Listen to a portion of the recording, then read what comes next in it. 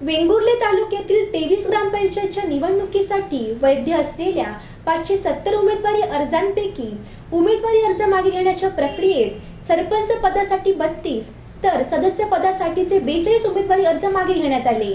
यामुळे आता वेंगुर्ले तालुक्यातील या ग्रामपंचायत निवडणुकीसाठी सरपंच व सदस्य पदासाठीचे मिळून एकूण चारशे शहाण्णव उमेदवार रिंगणात आहेत. उमेदवारी अर्ज मागे घेण्याच्या दिवशी सरपंच व सदस्य पदासाठीचे एकूण चौऱ्याहत्तर अर्ज मागे घेण्यात आले. यामुळे आता चारशे शहाण्णव उमेदवार या निवडणुकीत आपले नशीब आजमावणार आहेत.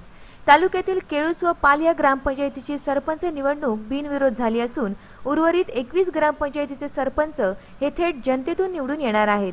यावेळी रेडी ग्रामपंचायतमधून सरपंच पदासाठी उमेदवारी अर्ज भरलेल्या माजी पंचायत समिती सदस्य चित्रा कन्याळकर यांनी आपला अर्ज मागे घेतला आहे. तर तुळस ग्रामपंचायतच्या विद्यमान सरपंच भाग्यलक्ष्मी घारे यांनी यावेळी सुद्धा सरपंच पदासाठी व सदस्य पदासाठी उमेदवारी अर्ज दाखल केला होता. मात्र त्यांनी हे दोन्हीही अर्ज मागे घेतल्याने तुळस गावात याची जोरदार चर्चा सुरू आहे.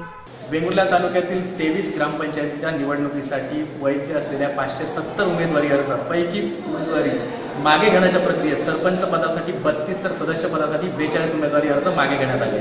त्यामुळे या वेंगुर्ला तालुक्यातील ग्रामपंचायत निवडणुकीसाठी एकूण चारशे सत्तर उमे शहाण्णव उमेदवार रिंगणात असणार आहे एकंदरीत या तालुक्यात पाहता कोण सरसी मारणार याकडे मात्र सर्वांचे लक्ष लागले आहे. दिनांक सतरा तारीखला त्याचं चित्र मात्र खरं स्पष्ट होईल. Cameraman Roshan Kerkar sir Guruprasad Dali Vengurla. Thank you.